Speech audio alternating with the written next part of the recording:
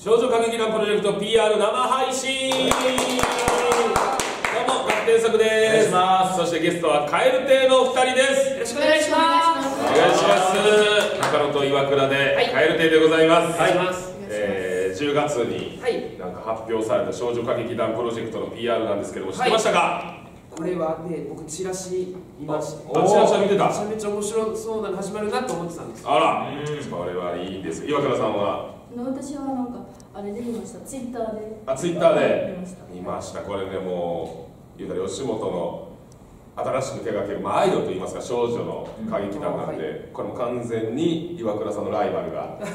多数。ちょっと待ってくださいよ。めちゃくちゃっすやん。むちゃくちゃっすよ。出ました。勘弁してくださいよ。むちゃくちゃなんですよこれは。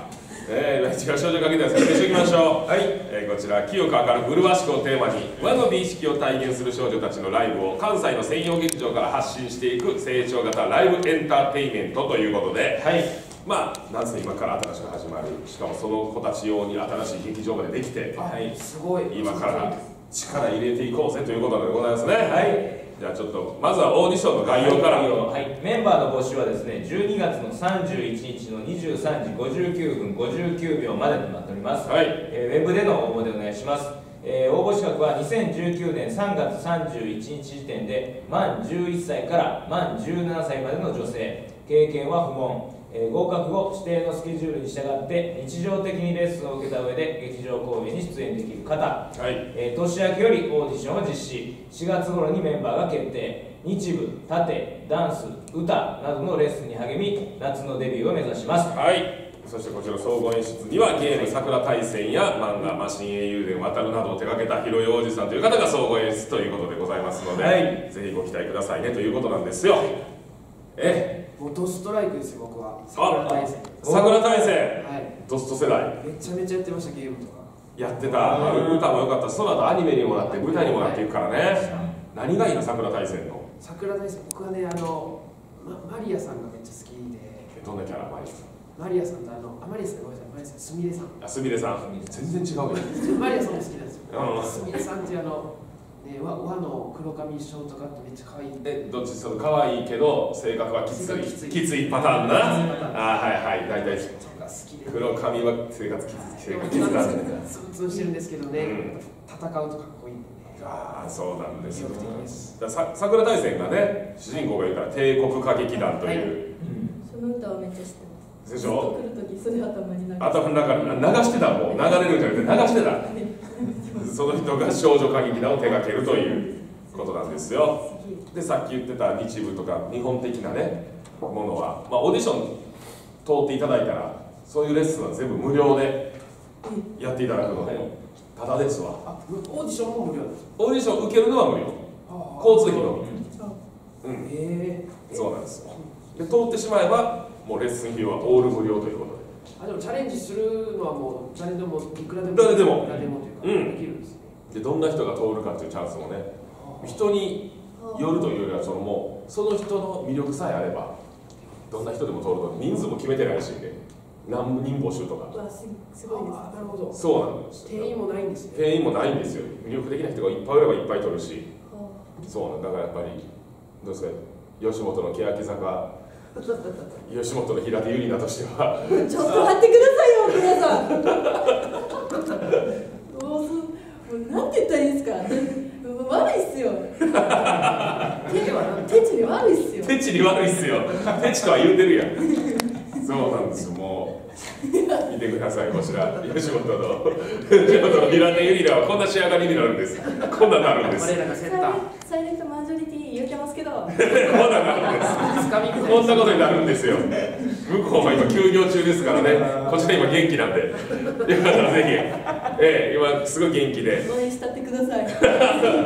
すごいからねあのネットでもあの平手友梨奈休んでるのに平手友梨奈の声がするっていう。ずっとコンサートで。ええ。そうそうそうそうそう。いやなんでか知らへんけどまあ言霊じゃない多分。思いが乗ってるからやろな。るほどね。うんだからそそういうことやろな。センター空いてんのにな。っていうすごいことですよ。あでもほらやっぱりでも似てるって言ってる人いいんで。えちょっと待ってくださいよもうそれはいじってますやん。下手やわ。下手やわ。その既存のフレーズ使うの下手すぎるって。みんなが当たり前に言ってるやつ。もうええわもうそんなん。そんなんちゃうんすよ。今日はそんなんちゃうんすよ。いやだからみんなが既存で言うてるフレーズ下手すぎんねん。言わされてるから出てもってんねん。普通にオリジナリティあるねんから普段。ゴミむずいないやそれも言うけど。それ言うけどちょっと上の人が言うのそれ。言われて言うてなさすぎてちょっと汗かいてきてるやんもん。汗かいて急いで。玉の汗が。様の汗かいてますからね。珍しいよ。そうか中野はじゃあ割とこういったものには興味があるタイプだよずねっと僕は好きですね。ああ。しかし僕テントってあの劇場の5階に置いてあったんですよ、うんうん。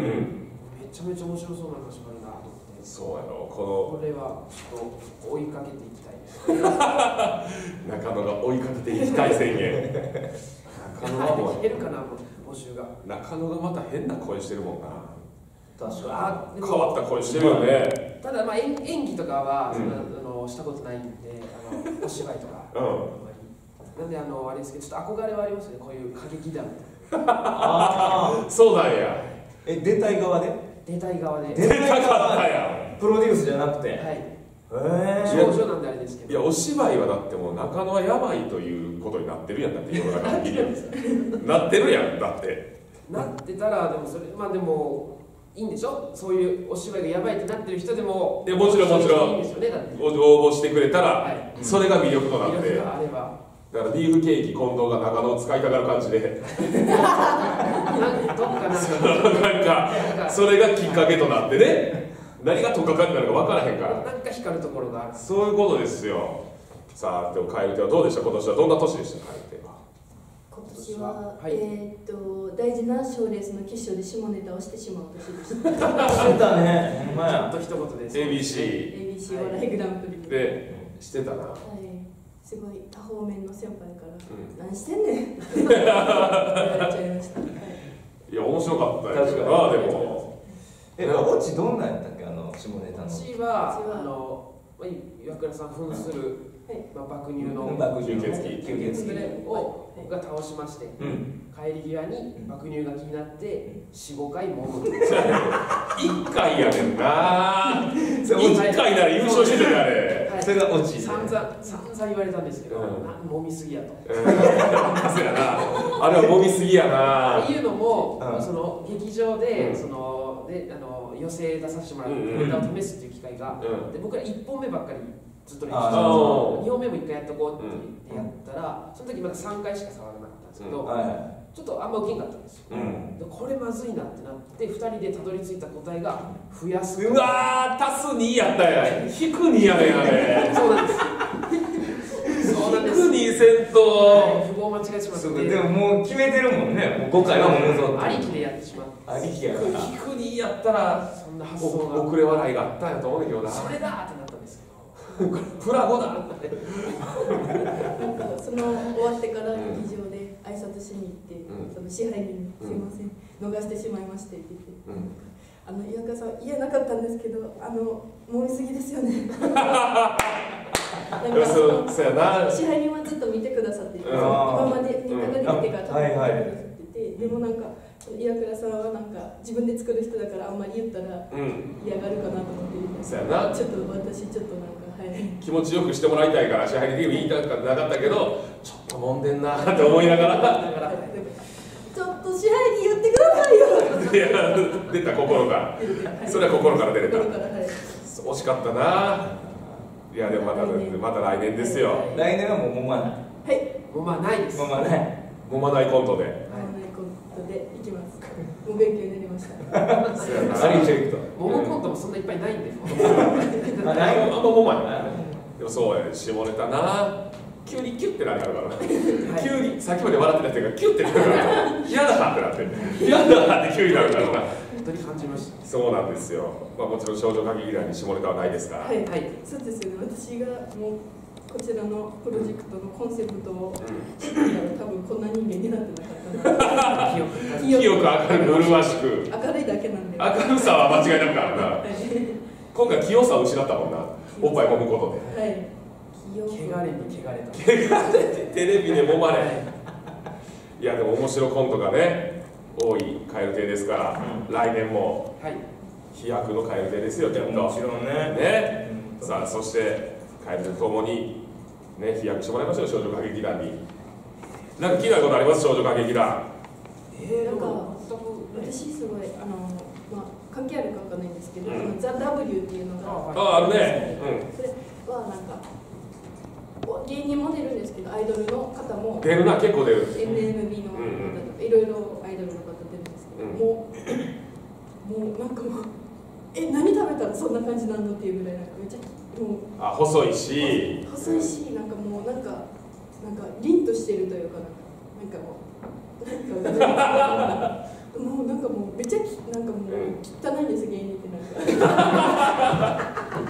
紅生姜とかな？はいもう特に。やっぱりもうぶっといしな。はいぶっといしはい。でなんか私もたまになんかそのなんかそのまあそのぶっとい中にいるんで、うんなんかまあうわ可愛いみたいな言ってくださるんですけど、うん。ちゃうちゃうちゃうちゃうちゃう本物見て 私なんて私なんてこれもう紛れてるだけやねんっていうぐらいもう綺麗なんですそうよ。なんかもうここれはうんすごい多分そういう、そうやね。はい。あとやっぱそういう人になっていくんやろしね、囲まれてるから。はい、で環境もそういう環境やから。環境やっぱ環境って大事だなってそうそう。だから芸人はもうそんなに汚くなかった人も汚くなっていくし逆に環境やから。合わせて。合わせて。そうそっちもあるから。そうだからどの川に住むかよ。清流に住むか。もうドブ川に住んだらでも昼食ってでも生きていくしかないから。昼に血吸わすじゃなくて自分が昼食いに行くぐらいのとんでもない化け物になって育っていかなあかんからね。結果その熊本プロレスみたいな試合になっていくんやけど。完全体。完全体。あれが無敵。この世界での無敵生物のトップですからね。そうなんです。他ありますか？なんか気になることこれは大体説明したけどね。全国からあ私はその宮崎から出てきたんですけど。あそうやね。で NSC 来て、うん。そのもうなんか本当に行けるのかなって不安すぎていろいろ分かんなすぎて大阪大阪行きたいっていうのはあったんですけど、うん。だから NSC の入学願書とかも、うん。なんか本当に私には届かないと思ってたんでだから応募かけかけたけど。2回送りました。2冊来て。そうなんですけどそりゃそうや。いやちゃんとやってますから。でもこちらもオーディショはい。ン自体はうん。実費で参加していただいてやけど、はい。はい、でも通ったら？もう交通費もレッスン料も無料なんで。あそうだ通いそうそう通いで。でもちろん学業優先で。なるほどなるほど。していただいて。そっかまずこれ自体が出してオーディションに行くのが無料ってことですそうそうそう出して、えー、とそのオーディション受けること自体は無料。じゃあ NSC と一緒ってことか。じゃあちょっと違うでも、えー NSC はオーディションの交通費した後入るって決まったらお金取られる。よこれはないのがいいです。ない絶対やった方がいいでしょ。なんなんやろその昔のテレビなのそのボリュームの上限が。なんか。それは本当に。ちょっとお得ですねそうお得、なんか本当に悩んでる人は絶対やった方がいいし、うん、はい、本当になんか最近すごく思うんですけれど、うん。はい、だってそうなんなんで NSC 思ったん逆に岩倉は。宮崎で。わ私はもう小学校の時に吉本新喜劇を見た瞬間にうん。なんかなんかお面白いとかよりもなんかうわ人笑わせてるすごいってなって。えなってうわこっちの人になろうと思って、うん。吉本新喜あ新喜劇吉本興業に入りたいと思いまして、うん。でそれで調べたらその NSC が出て。になったのでそれで、まあ、高校卒業したら行きたいなみたいな感じでしたこれは宮崎やもんね、はいえ中野は？僕は中岡山なんですけあど岡山か。中3の時にちっちゃい岩の中で僕爆笑王だったんで。爆笑 気になる。出た。はい。出た。爆笑世代だ。勘違いして。爆笑系の人、はい。そっちやえね岩倉はもうめちゃめちゃ笑かしてたタイプあ結構笑かしてたんですけど、その男子のヤンキーとかからしたら結構そのシンクった笑いをしてたんでシンクでうん。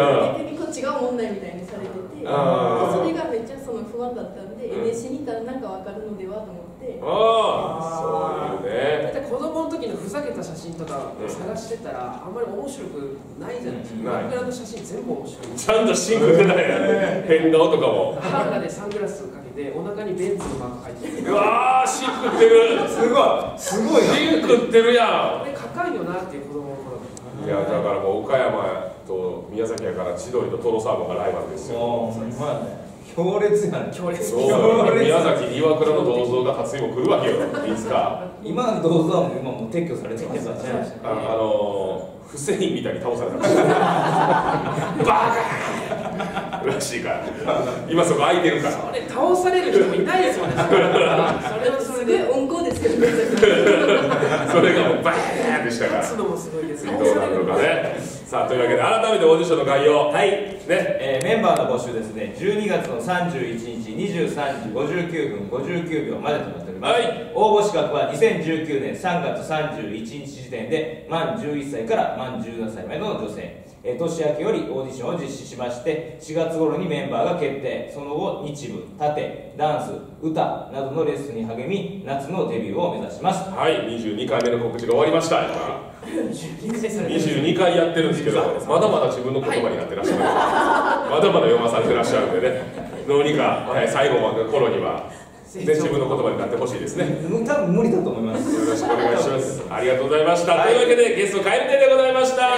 次は12時30分からさやかとお送りします。